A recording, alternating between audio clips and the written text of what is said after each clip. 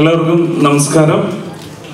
Shri Mithun manual തോമസിന്റെ രചനയിൽ ശ്രീ വൈശാഖ് സംവിധാനം ചെയ്ത് മമ്മൂട്ടി കമ്പനി നിർമ്മിച്ച മമ്മൂട്ടി കമ്പനിയുടെ അഞ്ചാമത്തെ ചിത്രം ടർബോ എന്ന സിനിമയുടെ വിശേഷങ്ങൾ പങ്കുവയ്ക്കാനാണ് നമ്മൾ ഇന്നിവിടെ കൂടിയിരിക്കുന്നത്.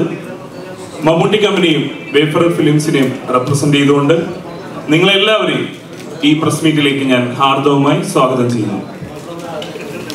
ഒപ്പം വേദിയിലിരിക്കുന്ന വിശിഷ്ട അതിഥികളെയും ഈ പ്രസ് മീറ്റിലേക്ക് ഞാൻ സ്വാഗതം ചെയ്യുന്നു. കുറച്ച് സമയം കുറെ നല്ല ചോദ്യങ്ങൾ നമുക്ക് ആരംഭിക്കാം.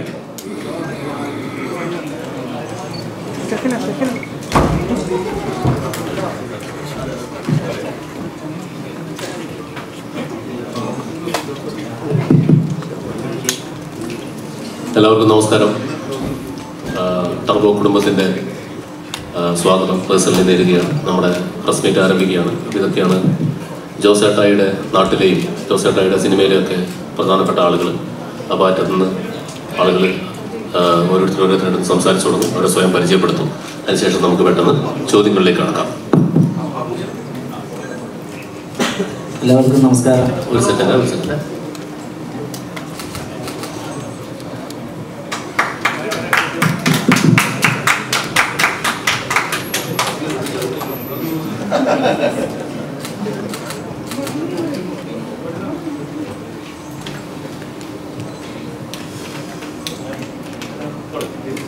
എല്ലാവർക്കും നമസ്കാരം. ടെർബോയുടെ ഭാഗമാകാൻ കഴിഞ്ഞതിൽ വളരെയധികം സന്തോഷം. ഞാനിതിൽ സിജോ എന്ന് പറയുന്നൊരു ക്യാരക്ടറാണ് ചെയ്യുന്നത്. ജോസൈറ്റാന്റെ പിള്ളേരിൽ ഒരാളാണ്. അപ്പോൾ എല്ലാവർക്കും പറയും എന്റെ പേര് ക്രിസ്റ്റോ ആണ്. മ്യൂസിക് ഡയറക്ടറാണ് ഈ പടത്തിന്റെ.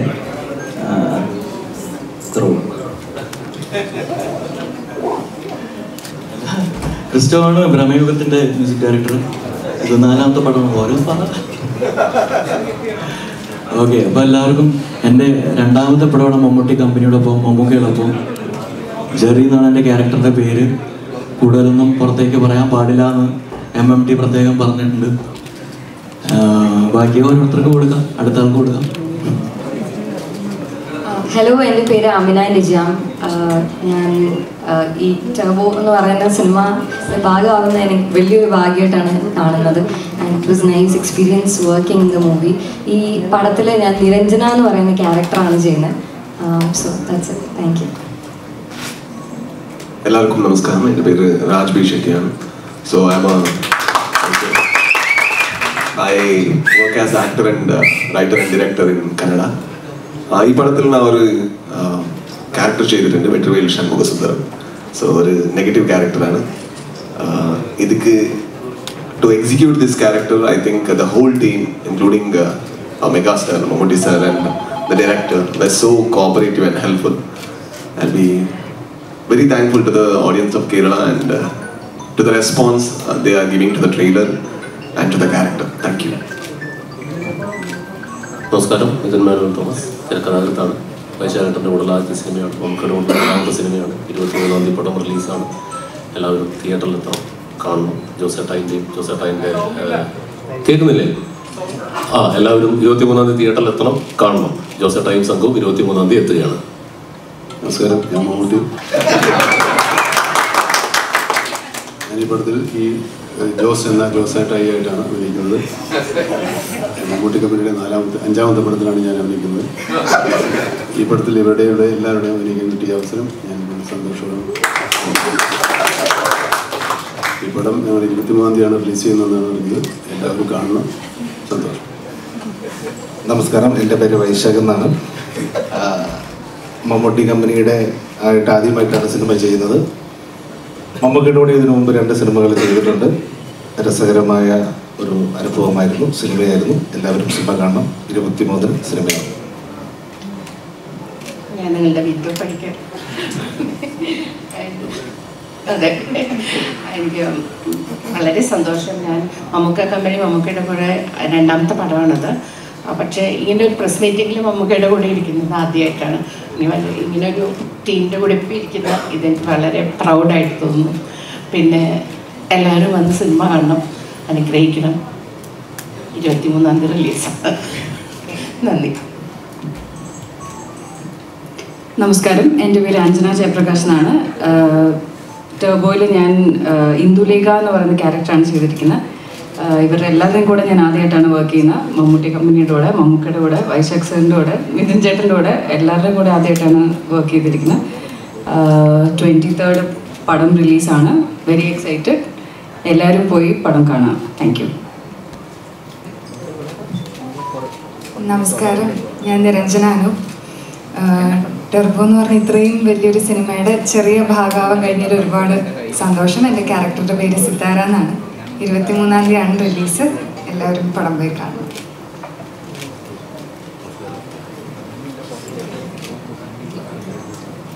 നമസ്കാരം. ഞാൻ ജോണി ആന്റണി ഞാൻ മമ്മൂട്ടി കമ്പനിയുടെ സിനിമയിൽ ആദ്യമായിട്ടാണ് അഭിനയിക്കുന്നത്. ഞാൻ നാല് സിനിമ നമുക്ക് വെച്ച് സംവിധാനം ചെയ്തിട്ടുണ്ട്. അതിന് പകരമായി എനിക്ക് നാൽപ്പത് സിനിമ അഭിനയിക്കാൻ തരാമെന്നാണ് നമുക്ക് പറഞ്ഞിരിക്കുന്നത്. അപ്പോൾ തുടങ്ങിയിട്ടേ ഉള്ളൂ. എന്തായാലും വളരെ നല്ല രസകരമായ അനുഭവമായിരുന്നു വൈശാഖ്. മിഥുൻ എല്ലാവരും ഉണ്ടായിരുന്നു. പിന്നെ മമ്മൂക്കയുടെ വരവ് അറിയിക്കുന്ന ഒരു കഥാപാത്രമാണ്. വേഷം ചെയ്യാൻ പറ്റിയ ഒരു അഭിമാനമായിട്ട് തോന്നുന്നു. ജോസിന്റെ വരവ് അറിയിക്കുന്ന കഥാപാത്രമാണ്. അപ്പോൾ ഒത്തിരി സന്തോഷം. പടം എല്ലാവരും ഇരുപത്തി കാണുന്നത് കാണുക. ഒരു വലിയ വിജയമാക്കി തരിക. നന്ദി. നമസ്കാരം. ഞാൻ സമദ്. മമ്മൂക്ക അവസരം തന്നതുകൊണ്ട് മമ്മൂക്കയുടെ പത്താമത്തെ സിനിമ ഓവർസീസ് ചെയ്യാൻ കഴിഞ്ഞ ആളാണ് ഞാൻ ഒത്തിരി സന്തോഷം. താങ്ക് യു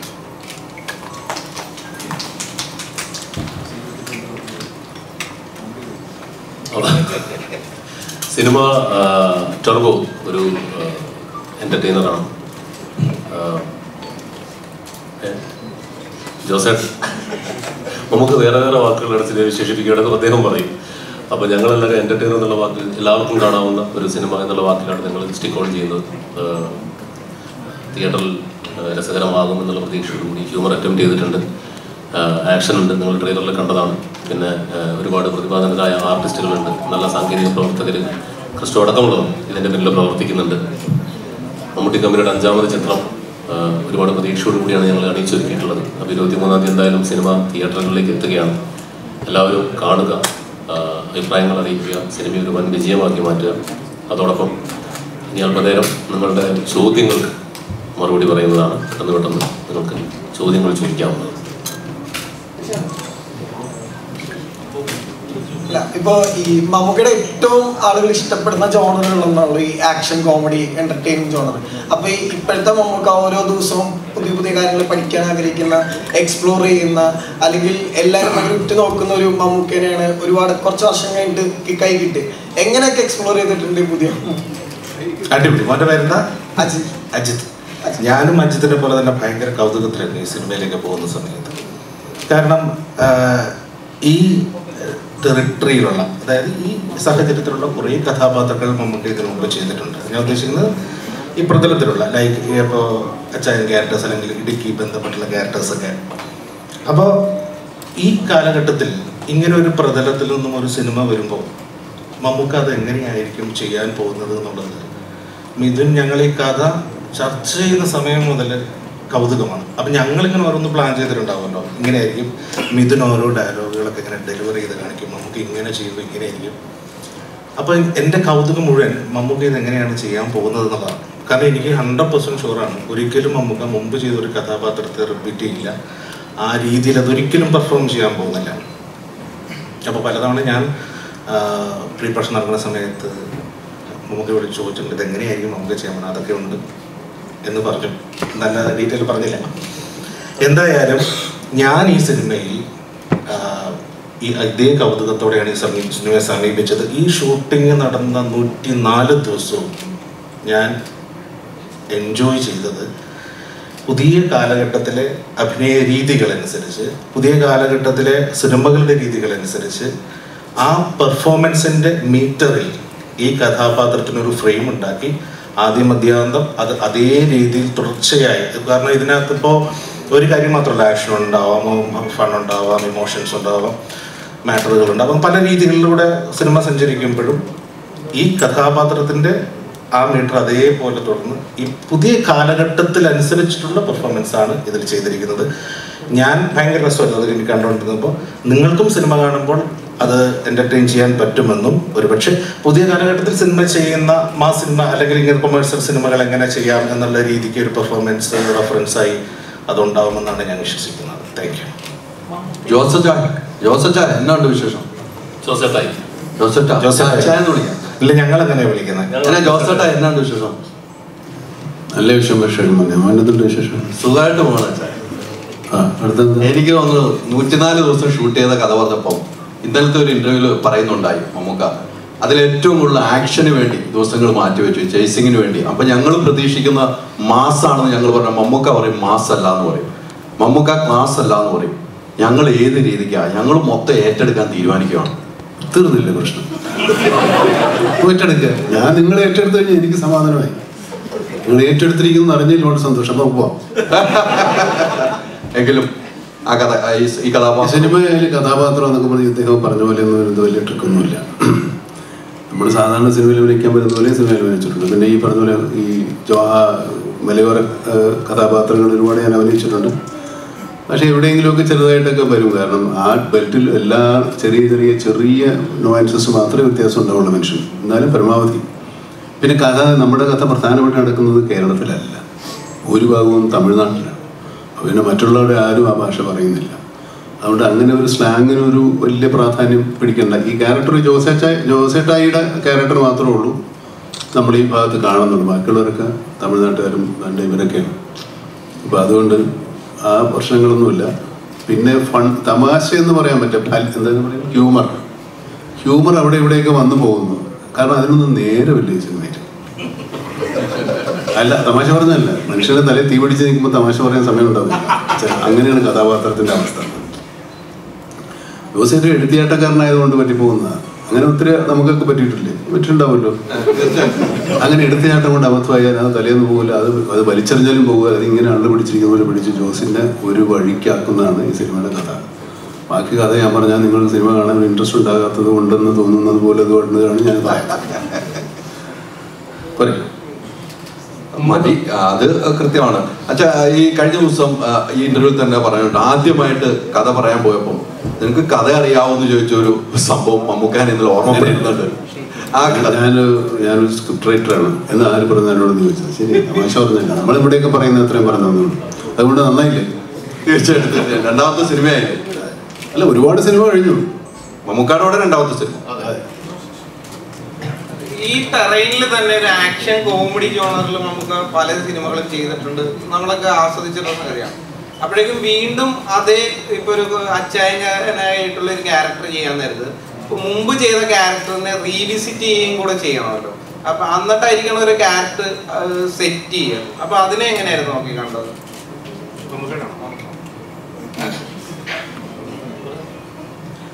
റീവിസിറ്റിംഗ് ഒന്നുമില്ല ആ കഥാപാത്രത്തുമായിട്ട് യാതൊരു സാമ്യം ഉണ്ടാകാതിരിക്കുന്ന ശ്രമമാണ് റിവിസിറ്റ് ചെയ്യുമ്പോൾ അതുപോലെ തന്നെ വരണ്ടേ? അങ്ങനെ വരാതിരിക്കാനാണ് ഞാൻ സാധാരണ ശ്രമിക്കുന്നത്.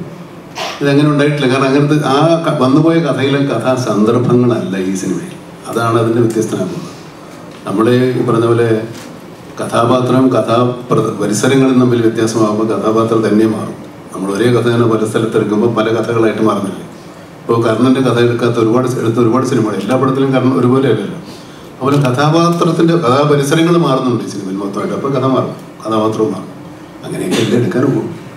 നമുക്ക് പറയണ്ടായി ദുബായ് ലോഞ്ചിൽ ഇതൊരു സാമ്പിൾ മാത്രമാണെന്ന് പറഞ്ഞു. അപ്പം ട്രെയിലറിനെ പറ്റി പറഞ്ഞു? ആ അല്ല അതെ ഇതൊരു സാമ്പിൾ മാത്രമാണ്. അപ്പൊ യഥാർത്ഥ വെടിക്കെട്ട് ഇനി വരാനിരിക്കുന്നേ ഉള്ളൂ. കുഴിച്ചടിക്കല്ലേ അത് വെടിക്കെട്ടാണെന്ന് നിങ്ങൾക്ക് തോന്നുന്നുണ്ടെങ്കിൽ ചിലപ്പോൾ വന്നേക്കാം മമ്മൂക്കാൻ ടെർബോജസ് എങ്ങനെയാ ട്രിപ്പിൾ സ്ട്രോങ് ആണോ തോന്നട്ടെ എങ്ങനെയെങ്കിലും. നിങ്ങളത് ഉടക്കല്ലേ മമ്മൂക്ക ടെർബോജസ് എങ്ങനെയാ ട്രിപ്പിൾ സ്ട്രോങ് ആണോ ഇവിടെ ഇവിടെ ഇവിടെ ഇവിടെ ഇവിടെ ഇവിടെ. സൈഡ് റൈറ്റ് ലെഫ്റ്റ് സൈഡ് അങ്ങനെ അതായത് ഡയറക്ടർ പറയട്ടെ ഞാൻ പറയുന്നില്ല. സ്ട്രോങ് ആണ് ഡബിൾ സ്ട്രോങ് ആണ്. ട്രിപ്പിൾ സ്ട്രോങ് ആണോ? ടെർബോജസ്. നിങ്ങൾ സിനിമ കണ്ടിട്ട് തീരുമാനിച്ചാൽ മതി. ഇതെന്താ സംഭവം എന്ന് വെച്ചാൽ കഴിഞ്ഞാൽ ആ കഥയുടെ അല്ലെങ്കിൽ ആ സിനിമയുടെ സ്വഭാവത്തിനനുസരിച്ച് പരമാവധി ശ്രമിച്ചിട്ടുണ്ട് എല്ലാവരും. പ്രത്യേകിച്ചും നമുക്ക് ഒരുപാട് എഫേർട്ട് ഇട്ട് ചെയ്തിരിക്കുന്ന സിനിമയാണ്. നിങ്ങൾക്ക് സന്തോഷമുണ്ടാകാനും നിങ്ങൾക്ക് ആനന്ദമുണ്ടാകാൻ വേണ്ടി തന്നെയാണ് അദ്ദേഹം അത്രയും കഷ്ടപ്പെട്ടത്. നിങ്ങൾ കാണും. അത് നിങ്ങൾ തീരുമാനിക്കും. നമുക്ക് പടത്തിൽ നിന്ന് കിട്ടാൻ പോകുന്ന ഒരു മെസ്സേജ് എന്തായിരിക്കും? ഇപ്പോൾ മുൻകൂട്ടി പറയുവാണെങ്കിൽ എനിക്കത് ചോദിക്കാമോ എന്ന് അറിയില്ല. ഞാൻ കേട്ടൊരു കാര്യമാണ്. ചോദിക്കാമോ സ്പോയിലർ പോലെ തോന്നുന്നതാണ് അങ്ങനെ വേണേ പറയാം. എന്താ വെച്ചാൽ ഒരു സ്കാമിനെ കുറിച്ച് അത് ഞാൻ കേട്ടിട്ടുണ്ട്. ആ, അപ്പൊ അതിന് അപ്പൊ അതിന് വേണ്ടിയിട്ട് ആൾക്കാർക്ക് കൊടുക്കുന്ന ഒരു മെസ്സേജും മുന്നറിയിപ്പും ഒക്കെ നമുക്ക് കിട്ടാം. കാര്യങ്ങൾ സിനിമയിൽ ഉണ്ട്. അതിപ്പോ അത് സിനിമയിലൂടെ പോകുന്നതാണ് അതിപ്പോ അതിന് ആരും വളരെ പറയുന്നില്ല. ഞാൻ തന്നെ പറഞ്ഞിട്ടുണ്ട് സ്കാം ഉണ്ടെന്ന്. ചോദിക്കുന്നത് എന്താണ് എല്ലാവർക്കും അറിയാവുന്നവര്. നമുക്ക് അത് പറഞ്ഞിട്ടുണ്ട്. അപ്പൊ അതുകൊണ്ടാണ് ഞാൻ ചോദിച്ചത്. പിന്നെ ഒരു കാര്യം കൂടി ചോദിച്ചോട്ടെ വൈശാഖ് സാറിന്റെ അടുത്താണ്. അയ്യോ നമുക്ക് കുഴപ്പമൊന്നുമില്ല. ട്രെയിലറിൽ നമ്മളൊരു റിഫൈൽ ഷോട്ട് കാണുന്നുണ്ട് തോക്ക് വെച്ചിട്ട്. അത് ഇതുവരെ ഞാൻ മലയാളത്തിൽ അങ്ങനെ ഒരു ഷോട്ട് കണ്ടിട്ടില്ല. അത് ഭയങ്കര ബ്യൂട്ടിഫുൾ ആയിട്ട് ആണ് എടുത്തേക്കുന്നത്. അപ്പൊ അതിനെ പറ്റി ഒന്ന് ഷോട്ട് നമുക്ക് തന്നെയാണ് എടുത്തിരിക്കുന്നത്. കാരണം അല്ല ആ ഷോട്ട് നമുക്ക് എടുക്കാൻ പറ്റില്ല അത് അത് റിഗ് ചെയ്തിട്ട് ഒരു സ്പീക്കറിൽ റിഗ് ചെയ്തിട്ട് നമ്മൾ പുറത്തു വിടും. അപ്പൊ കാണാം. ആ, ഒരു ഒരു ഒരു സ്റ്റിക്കിൽ ഒരു ക്യാമറ റിഗ് ചെയ്തിട്ടാണ്. ശരി കാണിച്ചു തരും കേട്ടോ എത്രത്തോളം കഷ്ടപ്പെടുത്തിയിട്ടുണ്ട്? അത് പല തവണ നമ്മളിങ്ങനെ പറഞ്ഞില്ല എല്ലാവരും നന്നായി കഷ്ടപ്പെട്ടു പ്രത്യേകിച്ച് പോകണം ചോദിക്കണ്ടേ വന്നു ഇപ്പോൾ വീണ്ടും വീണ്ടും അത് ഓർപ്പിക്കല്ലേ മലയാള ഫിലിമിൽ ഒരു ഡയലോഗ് ഉണ്ട്. അവന്റെ ഇടി എന്ന് പറഞ്ഞാൽ ഒരു ഒന്നൊന്നര കിൻഡൽ വരുന്നു. ടെർബോ ജോസിന്റെ ഇടിക്ക് അത്ര കിൻഡൽ ഉണ്ടാവും? കൊണ്ടു നോക്ക്. അല്ലെങ്കിൽ കണ്ടു നോക്ക്. രാജ്മിഷരി മമ്മൂക്ക എന്ന് പറയുന്ന ആക്ടറിനെ നമ്മൾ ഇപ്പൊ പല ആളുകളും മമ്മൂക്കയുടെ ചില അച്ചായൻ കഥാപാത്രങ്ങൾ ഇപ്പൊ ബാക്കിയുള്ളവരെന്നെ അങ്ങനത്തെ ക്യാരക്ടേഴ്സ് എടുത്ത് ചെയ്യുമ്പോൾ മമ്മൂക്കയുടെ അങ്ങനത്തെ ക്യാരക്ടേഴ്സിനെ പോയിട്ട് പഠിക്കുകയും അതിനൊരു മീറ്ററാക്കി വെക്കുകയും ചെയ്യുന്ന അതാണ്. അതാ അതാണ് അച്ചായ ക്യാരക്ടേഴ്സിനുള്ള ഒരു ഒരു ഐക്കോണിക് സ്റ്റേച്ചർ മലയാളത്തിൽ. ഇപ്പോൾ കോട്ടയം കുഞ്ഞ് എന്ന് പറയുന്ന പോലത്തെ ഒരു ക്യാരക്ടറിനെ നമ്മൾ അങ്ങനെ പിന്നെ ആരും സൃഷ്ടിച്ചു കണ്ടിട്ടില്ല. സോ മമ്മൂക്കയുടെ കൂടെ ഓപ്പോസിറ്റ് അത് പെർഫോം ചെയ്ത് കാണിക്കുക. നിങ്ങളും ആദ്യമായിട്ടാണല്ലോ അങ്ങനെ കൊമേഴ്ഷ്യലി ആയിട്ടുള്ള ഒരു വില്ലനായിട്ട് എത്തുന്നത്. മമ്മൂക്കയെ നമ്മൾ കുറച്ച് കാലത്തിന് ശേഷമാണ് ഇത്രയും കൊമേഴ്ഷ്യൽ ആയിട്ടുള്ള ഒരു ഒരു പ്രൊട്ടഗോണിസ്റ്റ് ആയിട്ട് കാണുന്നത്. സോ എന്തൊക്കെ പുതിയത് കൊമേഴ്ഷ്യൽ സിനിമയെ പറ്റിയിട്ട് മമ്മൂക്കയിലൂടെ മനസ്സിലായി? Everything I learn here is Neem നമ്മുടെ Vaishakh techniques or the way Mithun has written are or for example the first day I went I was little scared because of the language എനിക്ക് മലയാളം അറിയും. പക്ഷേ അവരുടെ മുമ്പ് സംസാരിക്കുമ്പോൾ കുറച്ചും കൂടി ബുദ്ധിമുട്ടുണ്ട്. അപ്പോൾ എനിക്ക് കുറച്ചും കൂടി ഇന്റിമിഡേറ്റ് ആയി. അ- അവരുടെ എന്റെ ഡയലോഗ് ഫ്ലോ കുറച്ചും കൂടി മാറി. Then he set the same dialogue in his flow the moment he said, I was like, why did I think in this way? Then, like, you know, I was so comfortable because I knew that he's not judging me. And, you know, and the, and the unfortunate thing was, he didn't have dialogue. He had to look at me. That was much more scary. Ah, he's just looking at me. I need to tell him. I'm like, okay. but the moment he gave me the flow, I could actually hold on to the scene. So then I knew that there is a lot to learn in the you know commercial space that uh, bridge cinema makers or indie filmmakers need to learn. The way they write, the way they approach Vishnu Sharma's camera angle, the way Sir perform, or Vaishak how he ideated the scene and everything. That I, I think it's a I really say it's a film school to me. But they paid me the fees, that's all. നമുക്കിപ്പോൾ Hitler എന്നുള്ള സിനിമയിലെ action സീനുകളിൽ Mammukka എല്ലാ action സീനുകളും ഇടത് കൈ കൊണ്ടാണ് initiate ചെയ്തിട്ടുള്ളത് ആ cinema കണ്ടാൽ അറിയാം നമുക്ക് അത് എഫേർട്ട് എടുത്തിട്ട് എല്ലാം ആക്ഷൻ തുടങ്ങുന്നത് ഇടത് കൈ കൊണ്ടാണ് അപ്പൊ അങ്ങനെ ഒരു കൊമേഴ്ഷ്യലായ സിനിമയിൽ അങ്ങനെ ഒരു ചെറിയ എഫേർട്ട് അല്ലെങ്കിൽ അങ്ങനെ ഒരു എഫേർട്ട് എടുക്കേണ്ട കാര്യമില്ല ആക്ച്വലി പക്ഷെ ആ ഒരു വ്യത്യസ്തത നമുക്ക് കാണാം. അപ്പോൾ വൈശാഖേട്ടനോടും മമ്മൂക്കയോടാണ്. ടേബോയിൽ ഇപ്പോൾ നൂറ്റിനാല് ദിവസത്തിൽ ഏകദേശം എഴുപത് ശതമാനം സമയവും ആക്ഷനും സ്റ്റണ്ടിന് വേണ്ടിയിട്ടാണ് മാറ്റി വെച്ചിട്ടുള്ളത്. അങ്ങനെ മമ്മൂക്കയുടെ ഭാഗത്ത് നിന്ന് കണ്ട ഇനീഷ്യേറ്റീവ്സ് ഒക്കെ ഒന്ന് പറഞ്ഞു?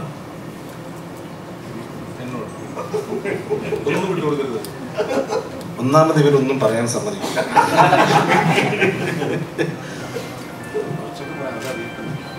ഈ നമ്മൾ ഈ നിങ്ങളെ ഫോട്ടോ ശ്രദ്ധിച്ചിട്ടുണ്ടാവും അറിയില്ല. ടർബോയുടെ നമ്മുടെ ആ ഫസ്റ്റ് സ്ക്രീൻ വന്നത്. അത് തന്നെ നമ്മൾ ലെഫ്റ്റ് ഹാൻഡാണ് ഉപയോഗിച്ചിരിക്കുന്നത്. അപ്പോൾ നമ്മൾ ഇതിനകത്ത് ടർബോ പഞ്ച് എന്ന് പറഞ്ഞൊരു പഞ്ച് ഡിസൈൻ ചെയ്തിട്ടുണ്ട്. അപ്പോൾ അത് ലെഫ്റ്റ് ഹാൻഡ് പഞ്ചാണ് പഞ്ചിന്റെ സ്ട്രെങ്ത് കൂടുതലായിരിക്കും. നമുക്ക് എന്നോട് പറഞ്ഞിരുന്നു അടിയോടടി സിനിമ തരാമെന്ന്. വാക്ക് വലിച്ചിട്ടുണ്ട്. ഈ ഇപ്പം ഭീഷ്മത്തിൽ നമ്മൾ നോക്കാൻ നേരത്ത് അതിന്റെ ഫൈറ്റ് സീക്വൻസിലൊക്കെ ബോൾട്ട് പോലത്തുള്ള ന്യൂ ടെക്നോളജീസുമായിട്ട് നമുക്ക് മല്ലിടുന്നതാണ്. ഇല്ലെങ്കിൽ അതിനെ തോൽപ്പിക്കുന്നതാണ്. അപ്പം നേരെ മറിച്ച് ഇപ്പം ടർബോയിൽ വരാൻ നേരത്ത് ഫൈറ്റ് സീക്വൻസിന്റെ അകത്ത് ഇപ്പൊ ട്രെയിലർ കട്ട്സിലൊക്കെ നമ്മൾ കണ്ടത് ഗംഭീരമായിട്ടുള്ള ഷോർട്സ് കാര്യങ്ങളൊക്കെയാണ്. അതിനെ എങ്ങനെയായിരുന്നു ഈ ടെക്നോളജിയുമായിട്ട് മമ്മൂക്കയുടെ മല്ല് മല്ലിടൽ? നമുക്ക് ടെക്നോളജി മല്ലിടേണ്ട കാര്യമില്ല. വളരെ നല്ല ധാരണ ടെക്നോളജിയിലുള്ള ആളാണ്. നമുക്ക് പറഞ്ഞു തരും അപ്പം ഇതിൽ നമുക്ക് ഉപയോഗിക്കാൻ പറ്റുന്ന സാധ്യത ഇപ്പോൾ സാധ്യമായിട്ടുള്ള ഒരു പരമാവധി ലഭിക്കാവുന്ന എല്ലാ ടെക്നോളജികളും എല്ലാ എക്യുപ്മെൻസുകളും ഉപയോഗിക്കാൻ ശ്രമിച്ചിട്ടുണ്ട്. അതൊക്കെ കമ്പനി പ്രൊവൈഡ് ചെയ്തിട്ടുണ്ട്. അപ്പോൾ അത് വെച്ച് നമുക്ക് ചെയ്യാവുന്ന ഒരു ബെസ്റ്റ് കൊടുക്കാൻ പറ്റിയെന്നാണ് വിശ്വാസം. കണ്ടു നോക്കും. ഇപ്പൊ ചേട്ടാ ഇപ്പൊ ഈ മമ്മൂക്കയുടെ വോയിസ് മോഡുലേഷന്റെ ഭയങ്കര ഒരു ഫാനാണല്ലോ അപ്പൊ ഈ ഓസ്ലറിലെ ഡബിൾസ് ഓൾട്ടർനേറ്റീവും അല്ലെങ്കിൽ ഇതിനകത്ത് ടർബോ ജ്യൂസ് എന്നൊക്കെ പറയുമ്പോൾ നമുക്ക് കിട്ടുന്ന ഒരു ഇമ്പാക്ട് ഉണ്ടല്ലോ. ഈ മമ്മൂക്ക പറയുമ്പോൾ അതൊരു ഭയങ്കര ഡിഫറെന്റ് ബോൾ ഗെയിമാണ് അപ്പൊ ഈ ഡയലോഗ്സ് എഴുതുമ്പോഴും എന്തൊക്കെ എഫേർട്ടുകൾ ആ ഒരു ഫാൻ ബോളിൽ നിന്ന് ഉണ്ടായിട്ടുണ്ട്? നമ്മൾ അങ്ങനെ ഒരു ഭയങ്കര ചീസി ഡയലോഗുകൾക്ക് ഇതിനകത്ത് അങ്ങനെ കാര്യമായിട്ട് ശ്രമിച്ചിട്ടില്ല. ഇപ്പോൾ ടൈ പറഞ്ഞതുപോലെ തലയ്ക്ക് മീതെ പ്രശ്നങ്ങൾ വന്ന് നിൽക്കുമ്പം വർത്തമാനം പറയാൻ പോലും പറ്റാത്ത അവസ്ഥയിലാണ് പുള്ളി പല ഘട്ടങ്ങളിലും നിൽക്കുന്നത്. പിന്നെ ഉള്ള ഡയലോഗുകൾ രസമുള്ള ഡയലോഗുകൾ ഉണ്ടെന്ന് ഞാൻ വിശ്വസിക്കുന്നത് പുള്ളി പറയുമ്പം അതിനൊരു ഭംഗി ഉണ്ടാവുമല്ലോ. ആ ഭംഗി നിങ്ങൾക്ക് പ്രതീക്ഷിക്കാമെന്ന് എനിക്ക് തോന്നുന്നു. നമ്മൾ എഴുതിയിട്ടേ ഉള്ളൂ. ബാക്കി അദ്ദേഹത്തിന്റെ കയ്യിൽ അദ്ദേഹം പറയുമ്പോൾ ഉണ്ടാവുന്നൊരു ഭംഗിയുണ്ടല്ലോ. അതുണ്ടാവും. ഈ കഥ പറയാൻ പോകുമ്പോൾ മമ്മൂക്കായിട്ട് രണ്ടാമത്തെ സിനിമയാണ് ചെയ്തത്. ഈ കഥ പറയാൻ പോകുമ്പോൾ മമ്മൂക്കായുമായിട്ട് സംസാരിക്കുമ്പോൾ ഇത്തരം ഒരു കഥയാണ് ചെയ്യുന്നത്. നമുക്ക് തോന്നുന്നു കുറേ ആക്ഷൻ ഉള്ളതുകൊണ്ടാണ് വീണ്ടും വീണ്ടും ചോദിക്കുന്നത്. വേറെ രീതി വേറെ പല രീതിക്ക് മേക്കിംഗ് ചെയ്ത സ്ക്രിപ്റ്റ് എഴുതിയിട്ടുള്ള ആളുകളാണ്. ഈ കഥ പറയുമ്പോൾ മമ്മൂക്ക എങ്ങനെയാണ് താങ്കളുടെ അടുത്തൊരു പ്രതികരണം നടത്തിയത് ആദ്യം ഫസ്റ്റ് ടൈം ഞാനും വൈചാട്ടും കൂടെ പൂനെയിൽ കണ്ണൂർ സ്പോണ്ട് ലൊക്കേഷനിൽ പോയിട്ട് കഥ പറയുമ്പോൾ കഥ കേട്ടപാടെ പുള്ളി അത് ഇത്രയും ആക്ഷനോട് കൂടി തന്നെയാണ് പറഞ്ഞത്.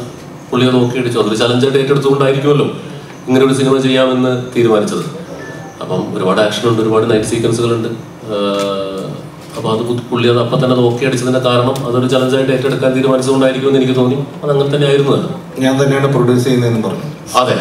അത് മറ്റൊരു ചലഞ്ച് നമുക്ക് ഇതിന്റെ സ്റ്റണ്ട് ഞാൻ കഴിഞ്ഞ ദിവസം കണ്ടിരുന്നു നമ്മുടെ മാഷിനെ കണ്ടപ്പോൾ ഇവിടെ ഒരു സിനിമയുടെ ലൊക്കേഷൻ മാഷ് പറഞ്ഞൊരു ഡയലോഗ് എനിക്ക് ഞാൻ ചോദിക്കുകയാണ് ആ മമ്മൂക്ക വീണ് കിടന്നു നമ്മൾ സ്റ്റാജിൽ കാണില്ലോ വീണ് കഴിഞ്ഞപ്പോൾ എഴുന്നേറ്റ് കഴിഞ്ഞപ്പം വേറെ ഒരു ഡോപ്പ് ഇട്ട് ചെയ്യാമെന്ന് മമ്മൂക്ക അത് വേണ്ട ഇത് ഞാൻ തന്നെ ചെയ്യുമെന്ന്. തൊണ്ണൂറ്റിയഞ്ച് ശതമാനം മമ്മൂക്ക തന്നെയാണ് ചെയ്തതെന്നാണ് അദ്ദേഹം നമ്മളോട് പറഞ്ഞത്. ശതമാന കണക്കുകളൊന്നും എടുക്കേണ്ട കാര്യമില്ല. ടെക്നോളജി ടെക്നോളജിയുടെ ഭാഗമായിട്ട് വിട്ടു. നമുക്ക് മമ്മൂക്കയുടെ എല്ലാ എഫേർട്ടും എടുത്തിട്ടുണ്ട്. അതാണ് മമ്മൂക്ക ഫുൾ അത് ചെയ്തു എന്നാണ് പറഞ്ഞത്. അതാണ് നമുക്ക് സമ്മതിക്കില്ല.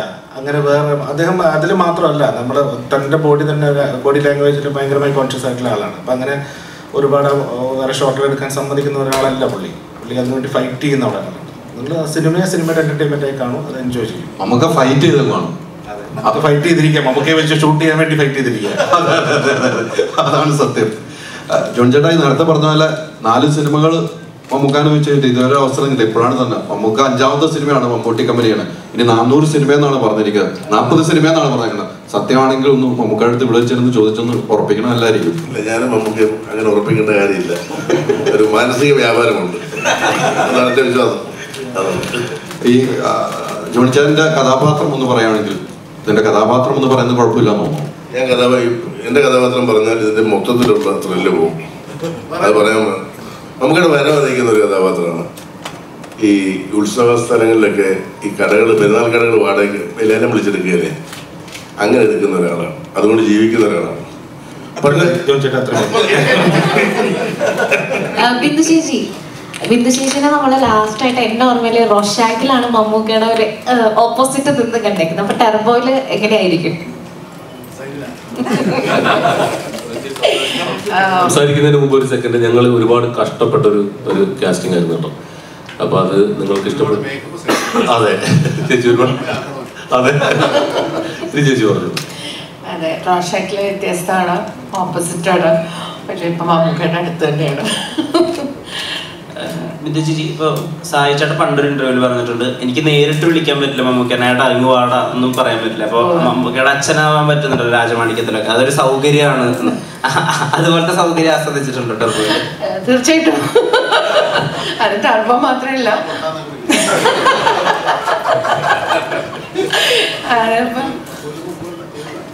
അതെ അതെ.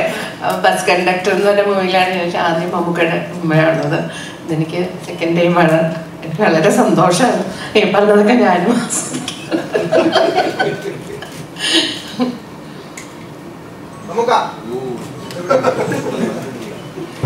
മമ്മൂട്ടി കമ്പനി പ്രൊഡ്യൂസ് ചെയ്യുന്ന ആദ്യത്തെ ഔട്ട് ആൻഡ് ഔട്ട് ഒരു ആക്ഷൻ പടമാണല്ലോ ടെർബോ അപ്പോ അത് മിഥുൻ മാനുവൽ തോമസ് എന്ന വ്യക്തിയിലുള്ള വിശ്വാസമായിരുന്നു അതിലോട്ട്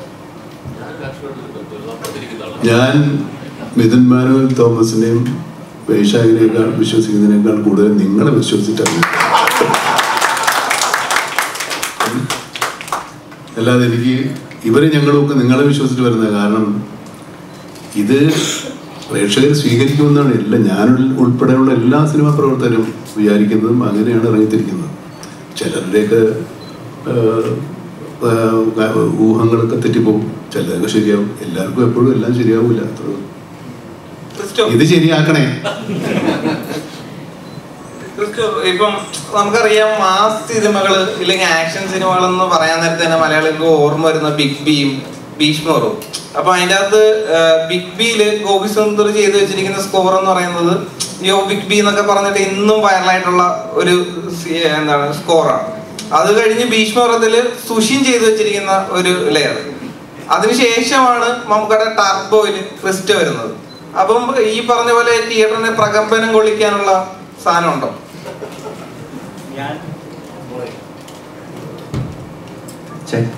ഞാൻ ഞാൻ ആദ്യം ഫേസ് ചെയ്ത ഇഷ്യൂ എന്താണെന്ന് വെച്ച് കഴിഞ്ഞാൽ ബ്രഹ്മയുഗം അത്യാവശ്യം സ്പേസ്ഡ് ഔട്ട് ആയിട്ട് സൗണ്ട് സ്കേപ്പും പരിപാടികളും മാക്സിമം എലമെന്റ്സ് കുറച്ച് ആ ക്ലാസ് മെയിന്റെയിൻ ചെയ്ത് ചെയ്യാനാണ് ശ്രമിച്ചത്. നേരെ എക്സ്ട്രീം അറ്റത്താണ് ഇപ്പുറത്ത് ടർബോ വന്നത്. അപ്പൊ ആദ്യം ഞാൻ വൈശാഖനോട് പറഞ്ഞു ചേട്ടാ എനിക്ക് കുറച്ച് ടൈം തന്നെ ഞാൻ ഇത് ബ്രഹ്മയുഗത്തിൽ നിന്ന് ഇറങ്ങി ഇതിലോട്ട് കയറാനുള്ള ടൈം തന്നെ എന്ന് പറഞ്ഞു. പക്ഷെ ഗ്രാജുവലി ചെയ്തു വന്നു. പിന്നെ ഈ പറഞ്ഞ പോലെ മാസ് പരിപാടി തന്നെ ആയിട്ട് വന്നിട്ടുണ്ട്. പ്രകമനം കൊള്ളിക്കുമെന്നൊക്കെ നമ്മൾ കണ്ടു നോക്കിയിട്ട് പറ.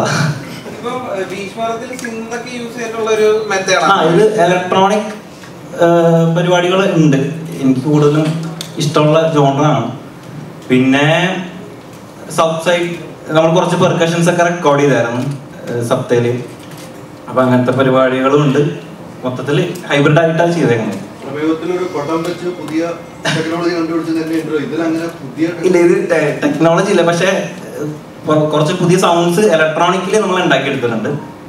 മറ്റേ മാനുവലി അല്ല അല്ലാതെ ഡിജിറ്റലി ഇതിലും സിന്ധിലുമായിട്ട് അതെ ഇത് മറ്റേ പണിയായിരുന്നു ഇതിൽ മറ്റേ ഫുൾ സിന്ധിലും ഇതിലൊക്കെ ആയിട്ട് കുറച്ച് സൗണ്ട്സ് ഉണ്ടാക്കിയിരുന്നു ഈ നമുക്കവിടെ സ്ലോ മോഷൻ ഷോർട്സിന് വേണ്ടിട്ട് ആർ ആർ ചെയ്യില്ലേ? അപ്പൊ ഈ ഫാൻ ബോയ് ഉണരോ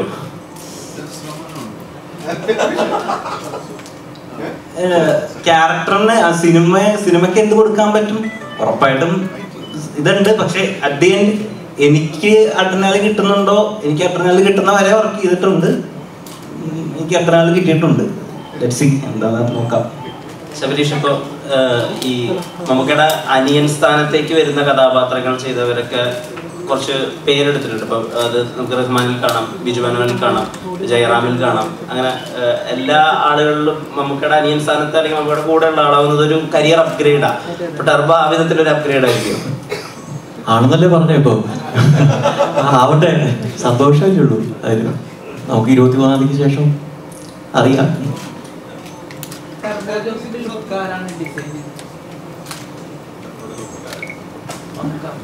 എങ്ങനെ ടർബോ ജോസിന്റെ ലുക്കിലേക്ക് എത്തി? ഹെയർ കട്ടാണ് ഉദ്ദേശിച്ചത്? ആ, ആരും പറയില്ല ആരും ഒന്നും പറഞ്ഞില്ല.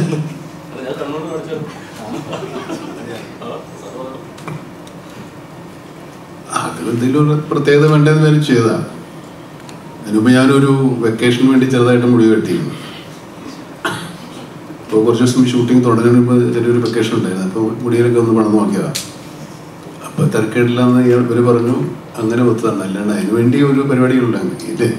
കുറവ് ചെയ്തിട്ട് കുറവ് ചെയ്തിട്ടെന്ന് ചോദിച്ചതുകൊണ്ട് അതങ്ങനെ മെയിന്റെയിൻ ചെയ്തു. മുടി വെട്ടിക്കഴിഞ്ഞ് പിന്നെ വളരെ കുറേ സമയം എടുക്കുമല്ലേ അപ്പോൾ അതിന് മുമ്പ് പടം തുടങ്ങണം. പിന്നെ ആ മുടി വെച്ച് അങ്ങ് അഭിനയിച്ചു. പിന്നെ പടം തീരുന്നവരെ ആ മുടി വെട്ടി അങ്ങനെ ആയിക്കൊണ്ടിരുന്നു. അങ്ങനെയാണ് എന്റെ കഥ. പടത്തിനകത്ത് രണ്ട് മൂന്ന് ഷർട്ടും കൊണ്ടും ഒക്കെ ഉള്ളൂ. പിന്നെ ഡയറ്റ് അപ്പം ഡ്രസ്സിന്റെ കാര്യത്തിൽ വലിയ പ്രശ്നങ്ങളൊന്നുമില്ല. മമ്മൂക്ക ഏഹ്, വണ്ടികളെ ഒരുപാട് ഇഷ്ടപ്പെടുന്ന ഒരാളാണ് താങ്കൾ. Same, ഇവിടെ ലെഫ്റ്റ് സൈഡ് വണ്ടികൾ ഒരുപാട് ഇഷ്ടപ്പെടുന്ന ഒരാളാണ് താങ്കൾ. ഈ സിനിമയിലെ ആക്ഷൻ സീനിലെ വണ്ടികൾ ഡ്രിഫിംഗ് ഒക്കെ താങ്കൾ തന്നെ ചെയ്തെന്ന് പറയായിരുന്നു കുറെ വണ്ടികളുണ്ട്. വണ്ടികളൊക്കെ പഴയ വിലക്ക് വിറ്റോണ്ടിരിക്കുക പൊട്ടിച്ചു ചവിട്ടിയത് ഈ സിനിമയിലെ ആക്ഷൻ സീനിലൊക്കെ മമ്മൂക്ക ഇന്ന് പറഞ്ഞ ഇന്റർവ്യൂവിൽ പറഞ്ഞിട്ടുണ്ടായിരുന്നു.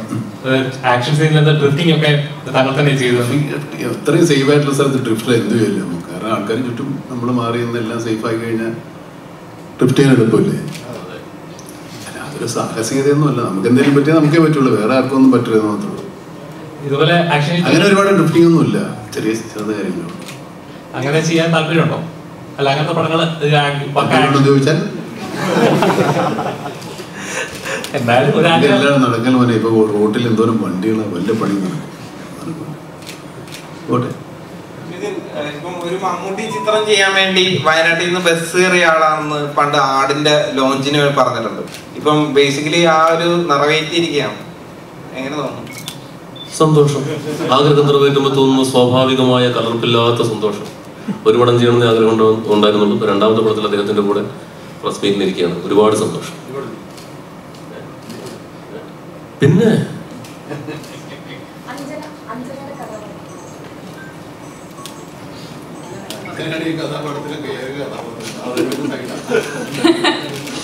എന്റെ കഥാപാത്രത്തിന്റെ പേര് ഇന്ദുലേഖ എന്നാണ്. അതിൽ കൂടുതൽ എന്താ പറയുന്നത് ചേട്ടാ? ആ ഓക്കെ. ബാങ്കിൽ വർക്ക് ചെയ്യുന്ന ബാങ്ക് മാനേജറായിട്ട് വർക്ക് ചെയ്യുന്ന ഒരാളാണ്. പിന്നെ ഇൻട്രസ്റ്റിംഗ് ആണ്. എങ്ങനെ ടർബോ ജോസിനെ മീറ്റ് ചെയ്യുന്നു? ആ കഥ എങ്ങോട്ടാണ് പോകുന്നത് എന്നൊക്കെ വളരെ ഇൻട്രസ്റ്റിംഗ് ആണ്. അതിന് പടം കാണേണ്ടി വരും. പക്ഷേ ഇപ്പം മാസ് ഫിലിം എന്ന് പറയുന്ന നേരത്ത് പ്രേക്ഷകൻ സ്വാഭാവികമായിട്ട് അവന്റെ ചിന്തകൾ ഇമാജിനേഷൻസ് അസോസിയേറ്റ് ചെയ്യുന്ന കുറെ ചിത്രങ്ങൾ. ഇപ്പൊ നായകനാണെങ്കിലും പിപ്പി ആണെങ്കിലും ഭീഷ്മാണെങ്കിലും അത്തരം കുറെ ചിത്രങ്ങളായിരിക്കും മനസ്സിൽ ആദ്യം വരിക. അപ്പൊ ഇവർ മമ്മൂക്കനെ വെച്ചിട്ട് ഒരു ആക്ഷൻ സിനിമ ചെയ്യണം എന്നൊരു തോന്നലുണ്ടാകുന്നത് ഇങ്ങനത്തെ ഇമാജിനേഷൻസിനെ ബ്രേക്ക് ചെയ്യണമെന്നൊരു തോട്ട് ഉണ്ടായിരുന്നു ഒന്ന് ഇത് ആക്ഷൻ ഡ്രാമ ജോണറിൽ പെടുന്ന സിനിമയാണ് ഇതിനങ്ങനെ ഒരു പ്യൂർ മാസ് സിനിമ എന്ന് പറയാവുന്ന എനിക്കല്ല ആക്ഷൻ ഡ്രാമയാണ് ഇതിന്റെ ഒരു പ്രോപ്പർ ജോണർ എന്ന് പറയാവുന്നത്. പിന്നെ കുറച്ച് ഹ്യൂമർ എലമെന്റ്സുകൾ കഥാപാത്രത്തിന്റെ ഭാഗമായി. കഥയുടെ ആ കഥാപാത്രം ട്രാവൽ ചെയ്യുന്നതിന്റെ ഭാഗമായി. അയാൾ അയാളുടെ അയാൾ തന്നെയുള്ള ഒരു ഒരു ഹ്യൂമർ എലമെന്റ് ഉണ്ട് എന്നല്ലാതെ അതല്ലെങ്കിൽ ഇതൊരു ആക്ഷൻ ഡ്രാമ ജോണറിൽ പെടുന്ന സിനിമയാണ്. അതിൽ തന്നെ അതിൻ അതിന്റെ നമുക്ക് നേരത്തെ സൂചിപ്പിച്ചതുപോലെ അത് ട്രാവൽ ചെയ്യുന്ന പ്രതലങ്ങൾ വേറെ വേറെയാണ്. നമ്മളിപ്പോൾ നേരത്തെ നിങ്ങൾ സൂചിപ്പിച്ച സിനിമകളിലൊന്നും ഉള്ള ഒരു സാഹചര്യങ്ങളിലൂടെ അല്ല ഈ കഥാപാത്രം ട്രാവൽ ചെയ്യുന്നത്. അപ്പോൾ ആ ആ ഒരു വ്യത്യാസം അല്ല അതിൽ തന്നെ ഉണ്ടാവുന്നുണ്ട്. സിനിമയുടെ യാത്രകൾ ഉണ്ടാവുന്നുണ്ട്. അപ്പോൾ അതിനൊന്നും വേണ്ടി നമ്മളൊന്നും പ്രത്യേകിച്ച് ചെയ്യേണ്ടി വരുന്നില്ല. പിന്നെ ട്രീറ്റ്മെന്റിന്റെ മെത്തേഡുകളിലൊക്കെ ഉള്ള കാര്യങ്ങളിൽ ഓരോ കാലഘട്ടത്തിനനുസരിച്ചിട്ടുള്ള മാറ്റങ്ങളുണ്ടാവും. സ്വാഭാവികമായും ഈ സിനിമയിലും ഉണ്ടാവും. മമ്മൂട്ടി ചിത്രം ചെയ്യാൻ നേരത്തെ എപ്പോഴും മമ്മൂക്കനെ കൊണ്ട് ഫൈറ്റ് ചെയ്യിപ്പിക്കാൻ ആഗ്രഹിക്കുന്ന ഒരാളാണ്. അത് ഞാൻ പൊതുവേ ആക്ഷൻ സിനിമകൾ കൂടുതൽ ചെയ്യുന്നതുകൊണ്ടാണ്. സ്വാഭാവികമായും അതിൽ ഹീറോസ് ആക്ഷൻ ചെയ്യേണ്ടി വരുമല്ലോ. അപ്പൊ അങ്ങനെ ആക്ഷന് പ്രാധാന്യമുള്ള സിനിമയാണ് ഈ സിനിമ. അപ്പൊ അതിനൊരു ഡിസൈനും കാര്യങ്ങളൊക്കെ നമ്മൾ ചെയ്ത് പ്രിപ്പയർ ചെയ്ത് ഡിസ്കസ് ചെയ്തിട്ട് തന്നെയാണ് ചെയ്യുന്നത്. മിനിസ്റ്റർ രാജ വരാറായി? മിസ്റ്റർ വേണോ? അതെ ഇപ്പൊ ഇന്നിപ്പോ നമുക്ക് ടബ് കഴിയട്ടെ. ടർബോയിലെ നമ്മുടെ ഈ ജോസേട്ടായി എന്ന് വിളിക്കുന്ന ജോസ് നാട്ടുമ്പുറത്തെ ചെറിയ പള്ളിപ്പറമ്പിലൊക്കെ ചെറിയൊരു ഷോ അടി. എന്തെങ്കിലുമൊക്കെ വഴക്ക് ചെ- അങ്ങനത്തെ ഒരു അടികാരനാണ് അല്ലാണ്ട് വലിയ ഗുണ്ടയോ റൗഡിയോ മാഫിയ കിങ്ങോ അങ്ങനത്തെ ഉള്ള ആളൊന്നും അല്ല. നാട്ടിൻപുറത്തൊരു ഡ്രൈവറാണ് ടൂറിസ്റ്റുകളെ ഈ ഹൈ റേഞ്ചസിൽ കൊണ്ടുവന്ന് ഭയങ്കര അവിടെ ചില ഡ്രിഫ്റ്റിംഗ് ഒക്കെ ചെയ്ത് അങ്ങനെ അവരെ ഇമ്പ്രസ് ചെയ്യുന്ന ആളാണ്. പക്ഷെ അത് പടത്തിൽ കാണിക്കുന്നില്ല. ഈ പുള്ളി ഇയാളെക്കാളും നൂറിരട്ടി ബലമുള്ള ആൾക്കാരുടെ മുമ്പിൽ പെട്ട എന്തായാലും സ്ഥിതി? അതാണ് ഈ സിനിമ. ചുരുക്കി പറഞ്ഞ് അതിനകത്തുള്ള അടിയെ നടക്കുള്ളൂ. മനസ്സിലാവുന്നില്ല ഞാൻ പറഞ്ഞു നമ്മളെങ്ങാനും പോയി സാധാരണ മനുഷ്യർ പോയി എവിടെയെങ്കിലുമൊക്കെ പെട്ടാൽ ഇടികൊണ്ട് പൊമ്പലായി പോകും. പക്ഷെ ജ്യൂസ് പിടിച്ച് നിൽക്കുന്നു എന്നുള്ള നമ്മുടെ സമാധാനം. സർവൈവൽ സ്വഭാവമുണ്ട് സിനിമയ്ക്ക്. കഥ ഞാൻ പറഞ്ഞില്ലെന്ന് പറയുന്നത് ഇതാണ് കഥ. ഇപ്പോൾ ട്രൂത്ത് ഗ്ലോബലിന്റെ ഈ ട്വിറ്റർ ഹാൻഡിൽസിലൊക്കെ വന്ന് ആളുകൾ ചോദിക്കുന്ന ചോദ്യങ്ങളുണ്ട്. അതായത് ടർബോ ആണ് ഏറ്റവും അധികം വലിയ റിലീസ് വരാൻ പോകുന്നത് പുറത്തുള്ള സ്ഥലങ്ങളിൽ. ഇതായിരിക്കും ഏറ്റവും വലിയ കളക്ഷൻ ഉണ്ടാവുക അങ്ങനെ കുറെ ചോദ്യങ്ങൾ വരുമല്ലോ അതിൽ അതിനോടൊക്കെയുള്ള പ്രതികരണം എങ്ങനെ? മലയാള സിനിമയെ ഇതുവരെ ഇറങ്ങാത്ത രാജ്യങ്ങളിൽ നിന്നടക്കം എൻക്വയറി വരുന്നുണ്ട്. അവിടെ റിലീസാവും റിലീസാവണമെന്ന് തന്നെയാണ് എന്റെ ആഗ്രഹം. പക്ഷെ അതെല്ലാം ഇക്കടെ അപ്രൂവൽ അനുസരിച്ചിരിക്കും. ഇക്ക ഓക്കെ പറഞ്ഞാൽ എല്ലായിടത്തും ഉണ്ടായിരിക്കും. അതൊരു വലിയ റിലീസ് തന്നെ ആയിരിക്കും. റിലീസാവട്ടെ ആൾക്കാർ കണ്ടേ. ഇപ്പം എമ്പലം തരും പറയുമല്ലോ ഇത് നമ്മൾ കേട്ടിട്ടില്ലാത്ത രാജ്യങ്ങളൊക്കെ ഉണ്ട് അതാണ് തമാശ. അവിടെ ഈ പറയുന്ന പോലെ ഒരുപാട് നമ്മുടെ ആൾക്കാരുണ്ടാവില്ല ഓരോ ഒരു ഷോ രണ്ട് ഷോ മൂന്ന് ഷോ പിന്നെ ഓരോ ദിവസം കൂടുതലും കൂടുതൽ ഷോ അങ്ങനെയൊക്കെ വരുന്നുണ്ട്. ഏതായാലും ആളുകൾ എന്തൊക്കെ പ്രതീക്ഷിക്കുന്നുണ്ട് അതാണ് വേറൊരു ടെൻഷൻ.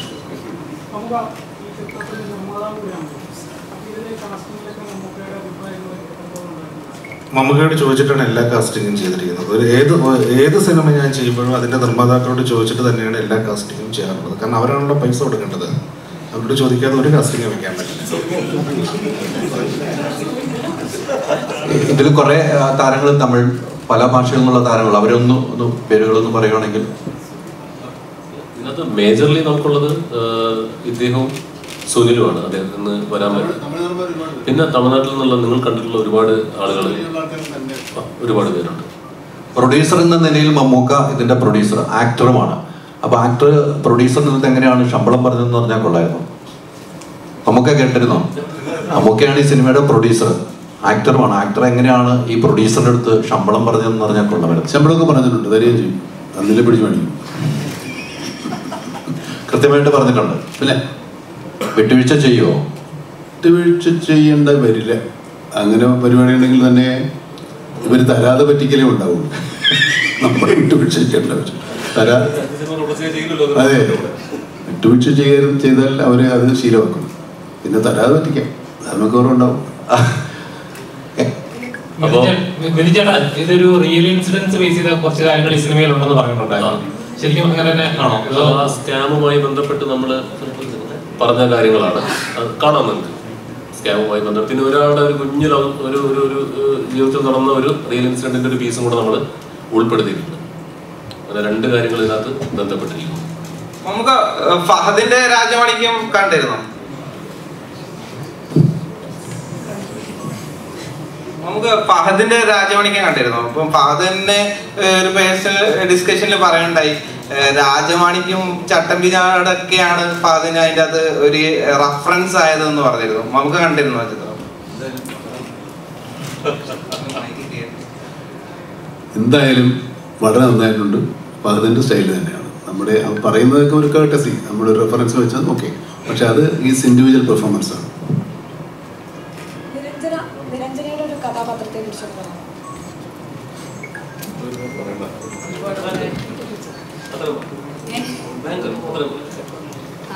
മിഥുൻചേട്ടൻ പറഞ്ഞ പോലെ സിതാര എന്നാണ് ക്യാരക്ടറിന്റെ പേര്? ഭയങ്കരമാണ്.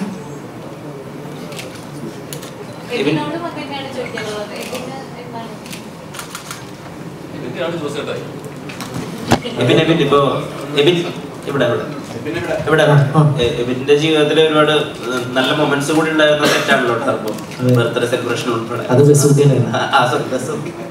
ബസുക്കിയല്ലേ? ആ, ആ sorry, ബസുക്കി. അപ്പൊ ഈ ടർബന്റെ ഒരു ജേണി മമ്മൂക്കയുടെ കൂടെ മമ്മൂക്കയുടെ കൂടെ തക്ലീഫ് ഡയലോഗുകളൊക്കെ അടിച്ചു തുറക്കുന്ന ഒരു ജേണി അല്ല അത് ഇരുപത്തിമൂന്നാം തീയതി എന്തായാലും അറിയാലോ പിന്നെ നിതിൻ ചേട്ടൻ പറഞ്ഞ പോലെ ജോസഫായി എന്റെയും കൂടെയാണ് അതാണ്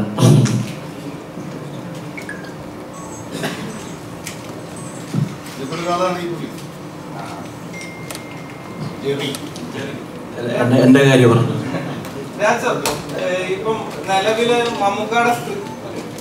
മമ്മൂക്കയുടെ സ്ക്രിപ്റ്റ് സെലക്ഷനെ കുറിച്ച് പാൻ ഇന്ത്യയിൽ തന്നെ ശ്രദ്ധിക്കപ്പെടുന്ന പല സ്റ്റേറ്റ്മെന്റ്സും പല സെലിബ്രിറ്റീസും പറയുന്നുണ്ട്. ഒരു ക്രിയേറ്റർ എന്ന നിലയിൽ എങ്ങനെയായിരുന്നു ഇതിനെയൊക്കെ നോക്കി കാണുന്നത്? മമ്മൂക്കയുടെ സ്ക്രിപ്റ്റ് സെലക്ഷൻസും കാര്യങ്ങളും. I think the first question I asked him when I met him was the same thing because uh, am a, uh director who acts and I am very scared when I act in other script because it's not only about uh, selecting the script, it's also about selecting the team and selecting the team which actually is very passionate when we go on ground. Some people might write it very well, but they may not execute very well. Some might execute very well, they may not promote very well. So these are the stages that ha- I mean cinema has. So how do you select the script is the question that I had. And uh, he said one beautiful thing that is like you know, art is risky. I think that's the beauty of art. The moment we want to make it risk free, then the whole fun is gone. So whenever he chooses a director or a script, he always chooses risk and in spite of it, he goes. I think that is something like the whole industry, the Indian industry or the world, need to observe and uh, you know learn. അതിനകത്ത് ഏറ്റവും excited ആയ സംഗതി എന്ന് പറയുന്നത് stardom വേണ്ട image വേണ്ട എന്നൊരു തോട്ടാണ് അല്ല അത് I think we need to learn it it's not easy to have you know everybody is insecure especially artists and to have no insecurities when you select script and uh, for example the moment somebody like you know thousand people clap you want 2000 people to clap then you don't make films which are personal to 50 people. But that is not the case with Mamoodi sir. He makes a film like you know which might be completely personal like Kadal and also a thriller and you know horror thriller like Brahmayugam and then he comes with a turbo. It's I don't know how. Maybe he need to explain but uh, it's beautiful to see and like you know wonder. അപ്പോൾ ഈ ചോദിച്ചതിനുള്ള ഒരു ഒരു നമ്മുടെ ആർട്ടിസ്റ്റുകളുടെ list കൂടെ നിങ്ങൾ ചോദിച്ചാണെന്ന് പറയാം. കബീർ സിംഗ് ദുഹാൻ അറിയാലോ? അദ്ദേഹമുണ്ട്. പിന്നെ തമിഴ്നാട്ടിൽ നമുക്ക് അരുൾദാസ് എന്ന് പറഞ്ഞ ആർട്ടിസ്റ്റ് ഉണ്ട്. പിന്നെ വസന്ത് രവി ഉണ്ട് നമോ നാരായണൻ അങ്ങനെ എൺപതോളം പേര് നമുക്ക് പുറത്തുനിന്നുള്ള ചെറുതും വലുതുമായ കഥാപാത്രങ്ങളെ അവതരിപ്പിക്കുന്നുണ്ട്. പിന്നെ ഫീനിക്സ് പ്രഭു അറിയാലോ ഷാജി നടുവിൽ അവരൊക്കെ നമ്മുടെ പോസ്റ്ററിൽ കണ്ട ആളുകളൊക്കെ ടെക്നീഷ്യന്മാരായിട്ടുണ്ട്. പിന്നെ ഈ കാണുന്ന ഞങ്ങളൊക്കെയാണ് ക്യാമറയ്ക്ക് മുന്നിലും പിന്നിലുമായിട്ടുള്ളത്. ഇത്രയും പറഞ്ഞു വന്നെന്ന് ചോദിച്ചിരുന്നെങ്കിൽ ഇത്ര നേരം ഞങ്ങളോട് സഹകരിച്ച എല്ലാവർക്കും നന്ദി അറിയിച്ചുകൊണ്ട് നമ്മുടെ പത്രസമ്മേളനം ആർ ജെ ബാലാജി എന്ന് പറയുന്ന തമിഴ്നാട്ടിലെ ഒരു ഡയറക്ടർ ഈ അടുത്ത് പറഞ്ഞിരുന്നു. മറ്റൊരു ആക്ടർ അവിടുത്തെ വലിയൊരു സൂപ്പർ സ്റ്റാറിനെ വെച്ച് സിനിമ ചെയ്യിപ്പിക്കുമ്പോൾ നരയിടാൻ വരെ അവർ കുറെ നേരം ഡിസ്കസ് ചെയ്യേണ്ട വന്നു. നരയിട്ടാൽ എങ്ങനെയായിരിക്കും? ഇമേജിനെ ബാധിക്കും. മമ്മൂക്ക എപ്പോഴും മമ്മൂക്കയുടെ സൗകര്യത്തിനല്ല സിനിമയുടെ സൗകര്യത്തിനാണ് നിന്നിട്ടുള്ളത്. അത് അത് ആ ഒരു ആ ഒരു ലവ് ഉണ്ടല്ലോ സിനിമയോട് അത് അതിന് പിന്നത്തെ കാര്യം? നേരത്തെ പറഞ്ഞ ലവ് സിനിമയോടുള്ള ലവ് പാഷൻ എനിക്ക് സിനിമ അല്ലാതെ ഒരു വഴിയും വേറെ ഞാൻ കാണുന്നില്ല. ഈ സിനിമ ഇല്ലെങ്കിൽ എന്റെ കാര്യം കുഴപ്പത്തിലാവും. എന്റെ ശ്വാസം നിന്ന് പോകും. താങ്ക് യു നമുക്ക് നമുക്ക് ആ ഡയലോഗ് ആ ആ ട്രെയിലറിൽ പറഞ്ഞ ആ ഡയലോഗ് ലാസ്റ്റ് ഡയലോഗ് അല്ലേ? നമുക്ക് ഒന്ന് പറ പ്ലീസ് അല്ല നമുക്ക് ആ ഡയലോഗ് ഒരു കാര്യമുണ്ട്. എനിക്ക് വേണ്ടി ഒരു ഒരു പടം വരച്ച ഒരു കുട്ടി ആ അത് നമുക്ക് ഈ ഡയലോഗ് എന്തായാലും പറയണം കേട്ടോ നമുക്ക് ഒരു കുട്ടിയുണ്ട്. ആ. കുട്ടിയെ നമുക്ക് വിളിക്കാം. ആ ആ ഡയലോഗ് ഒന്ന് പറയണം. അല്ല നമുക്ക് ആ ഡയലോഗ് പറയുമ്പോൾ നമുക്ക് പടത്തിലേ പറയുള്ളൂ. എനിക്കറിയാം അല്ല ആ, ഇതിന് ആ ഡയലോഗ് ഇതും നമുക്ക് കൊണ്ട് പറയിപ്പിച്ചോണ്ട്. എന്റെ ഡയലോഗ് നമുക്ക് ആ വീണ് കഴിഞ്ഞു? ഞാൻ വീഴുവാണല്ലോ ആ. ഞാൻ വീഴുവാണെങ്കിൽ എന്നോട് കൂടെ പത്ത് പതിനഞ്ച് പേരും കൂടെ. ഉണ്ട്. നമുക്ക് ഞങ്ങൾ സിനിമയ്ക്ക് വേണം ഞങ്ങൾ പത്ത് പതിനഞ്ച് പേരുമായിട്ട് സിനിമയ്ക്ക് പോകാൻ തീരുമാനിച്ചിരിക്കുന്നു. എങ്ങനെയുണ്ട്? ഓടിക്കണ്ട നമുക്ക് വീടരുത് ഒരിക്കലും ഇല്ല മു- മുന്നിലിരുന്ന് പത്ത് പതിനഞ്ച് പേരോട് പോവും. ഒരുത്തനും വീടിരുന്ന് എല്ലാവരും നല്ല എനർജി ആയിട്ട് നിൽക്കണം. പുഷായിട്ടിരിക്കും എനിക്ക് ഒരു കുട്ടിക്ക് ഒരു ചെറിയ പരിപാടി ജോർജ് ചേട്ടൻ ജോർജ് ചേട്ടാ. വേണ്ട എടുത്തു പോകും. Thank you